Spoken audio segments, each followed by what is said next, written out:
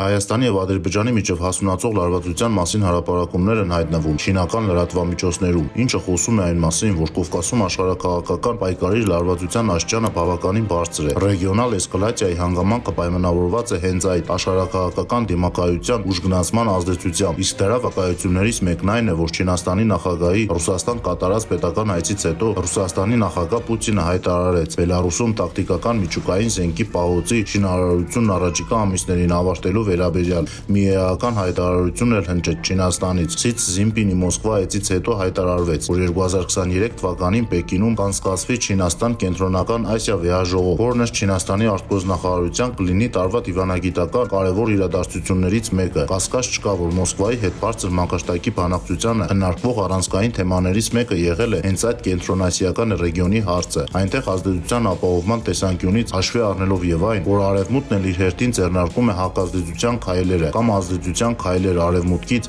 եւ հակազդեցություն Մոսկվա-Չինաստան տանդեմից։ Թեև այստեղ թերևս պետք է ներառել նաեւ Իրանը։ Բոլորովին վերջերս կենտրոնական Ասիայր այցելել ԱՄՆ պետքարտուղարը, օրերս Բրիտանիայի արտգործնախարարը, իսկ շաբաթներ առաջ կենտրոնական Ասիայի նախկին ՊՍՀ հանրապետությունների առաջնորդներին Փարիզում ընդունում էր Ֆրանսիայի նախագահ Մակրոնը, ասում է քաղաքագետ Հակոբ Բադալյանը։ Այստեղ առանցքային այն է, որ կենտրոնական ռեգիոնում ազդեցության ու հակազդեցության այդ դիմակայությունը անշեղորեն սպառնում է ավելացնել լարվածությունը Կովկասում, քանի որ պետք է արձանագրել կենտրոնական Ասիա տանող առանցքային տարպասներից մեկը Կովկասն է, եւ Կովկասում ազդեցությունը էապես կանխորոշիչ կլինի կենտրոնական Ասիայում դոմինանտության հարցում, իսկ սա ռեգիոնալ կայունության վրա ճնշման աճի շոշափելի գործոն է, ինչի արկայության մասին էլ խոսում է այն, որ հնարավոր էսկալացիայի թեման հայտնվում է նաեւ շինական մեդիայի ուշադրության կենտրոնում։ Այս հանգամանքն էլ իր հեշտին Երևանից պահանջելու է ավելացնել կայունության ապահովման ու ռիսկերի կառավարելիությանը միտված բազմակողմ դիվանագիտության ջանքը։ Օրերս Ռուսաստանի Դաշնությունը 44 օրյա պատերազմից հետո ըստ էության առաջին անգամ արձանագրեց, որ Ադրբեջանը խախտել է նոյեմբերի 9-ի երրակում հայտարարությունը։ Ադրբեջանի զինված ուժերի ստորաբաժանումների ռազմական սադրանքներն Արցախի դեմ վերջին ժամանակաշրջանում ավելի հաճախակի, գրեթե ամենօրյա ու համակարգային բնույթ են ստացել։ Ուշագրավն այն է, որ նման իրավիճակում, որոնք պատերազմից հետո քիչ չեն եղել, չեզոքություն պահպանող ռուսական կողմը սկսում է խախտել չեզոքությունը, հստակ արձանագրելով մեղավոր կողմին։ Ռուսաստանի պաշտպանության նախարարությունը մարտի 25-ին հայտնեց, որ նույն օրն Ադրբեջանի զինված ուժերի ստորաբաժանումը ի խախտում Ադրբեջանի նախագահի, Հայաստանի վարչապետի եւ Ռուսաստանի նախագահի 2020 թվականի նոյեմբերի 9-ի հայտարարության առաջին կետի հատել է կողմերի շփման գիծը Շուշիի շրջանում, զբաղեցրել է 2094.0 իշով բարձունքը Սարաբաբա լեռից 2.9 կիլոմետր հյուսիս-արևելք եւ սկսել դիրքի ինժեներային կահավորում։ Ռուսաստանցի խաղապաների հրամանատարությունը ձեռնարկում է ճգնաժամային իրավիճակի էսկալացիայի եւ հակամարտ կողմերի փոխադարձ ծադրանքների կանխման ուղղված միջոցներ, ասված էր Լեռնային Ղարաբաղում ռուսական խաղապազորախմբի գործունեության վերաբերյալ Ռուսաստանի ռազմական գերատեսչության ամենօրյա տեղեկագրում։ Ադրբեջանական կողմին է հասցվել պետությունների ղեկավարների երակոմ հայտարարությունների դրույթների պահպանման, ինժեներական աշխատանքների դադարեցման եւ ազգային զինված ուժերի նախնական դիրքեր հետ քաշման պահանջը հաղորդել էր Ռուսաստանի պաշտպանության նախարարությունը։ Սրան զուգահեռ արձանագրելի է, որ մինչ այս պահը ռուսական կողմի հետ կաշման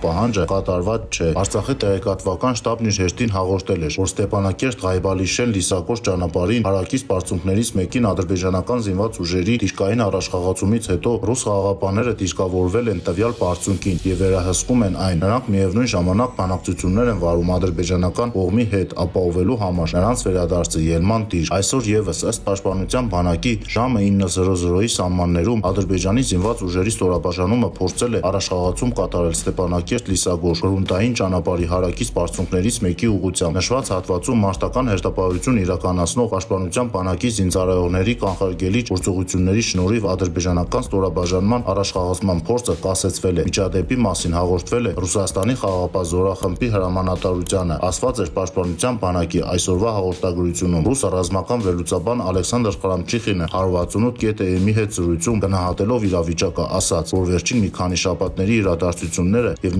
միջադեպերը թե հայ-ադրբեջանական սահմանին եւ թե Ղարաբաղյան շփման գծում, այդ թվում ռուսական գործոնի շրջանառությամբ ցույց են տալիս, որ Ադրբեջանը նպատակադրված կերպով փորձում է հասնել իր նպատակներին, քանի որ բանակցային գործընթացը երկարաձգվում է։ Ըստ նրա, այսպես Ադրբեջանը զուգահեռաբար մի քանի խնդիր է լուծում եւ փորձում է որոշ ըստ իրեն ռազմավարական հատվածներ գրավել եւ ճնշում բանեցնել Հայաստանի վրա, Ղարաբաղի ու նաեւ Ռուսաստանի նկատմամբ նպատակ ունենալով օր առաջ դուրս բերել խաղաղապաներին Լեռնային Ղարաբաղից։ Ռուսական կողմը ինչպես մշտապես պնդում եմ, բավականին ծանր իրադրությունում է հայտնվել, քանի որ դիվանագիտական հայտարարություններն Ադրբեջանի նկատմամբ որևէ էֆեկտ չունեն, իսկ ռազմական սադրանքները կանխարգելելու ամրագրված պայմանավորվածություններ ռուս խաղապաները չունեն եւ պայմանագրին չհամապատասխանող ցանկացած քայլ կդնի ռուս խաղապաներին Ղարաբաղից վաղաժամ դուրս բերման հարցը։ Ոստի խաղապաներին մնում է բանակցելու մեխանիզմը, որն արդյունավետ չէ։ Միևնույն ժամանակ Ռուսաստանի ՊՆ-ի փոխված հռետորաբանությունը վերջին երկու հասցեական հայտարարությունները նշանակում են, որ ռուսական